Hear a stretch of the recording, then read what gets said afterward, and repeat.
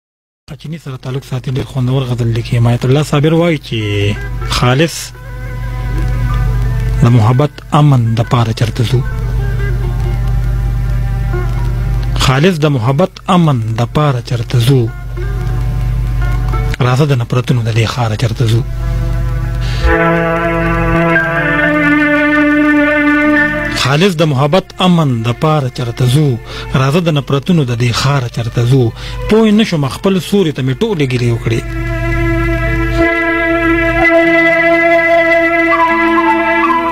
پوه نه شوم خپل سوري ته مې ټولې ګیرې وکړې ما وې کزه او ته دواړه په لار چرته زو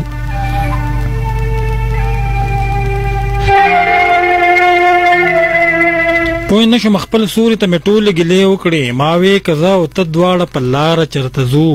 ځواني تر منځ لاړه خطا بیا دا سونه وي ځواني ترمنځ لاړه خو تا بیا داسې ونه وي راځه نه وخت کېږي که نه یاره چېرته ځو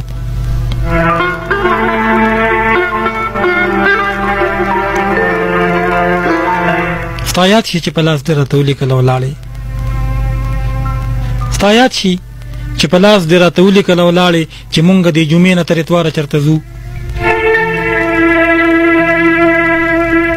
تیریګو که د ډیرو ازمیښتونو نه پلار تیریګو که د ډیرو ازمیښتونو نه پلار بیا خو بیا هم خامخا د چا د پاره چرته ځو تیریګو تیریګو که د ډیرو ازمیښتونو نه پلار خو بیا هم خامخا د چا د پاره چرته ځو چا هم د محبت په حمایت کې سو نه وي چا هم